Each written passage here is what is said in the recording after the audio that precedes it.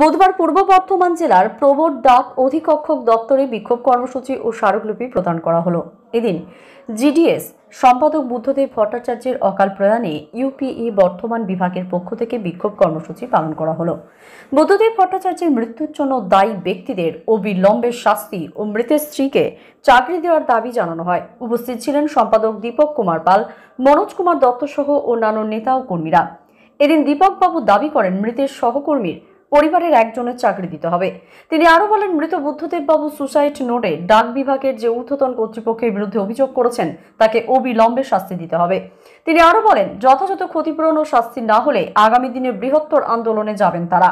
এর পাশাপাশি তিনি বলেন, যেভাবে বুদ্ধদেববাবুর অফিসে তালা দেওয়া হয়েছে, সেভাবে ঊর্ধ্বতন কর্তৃপক্ষের অফিসে তালা ঝুলিয়ে দেবেন।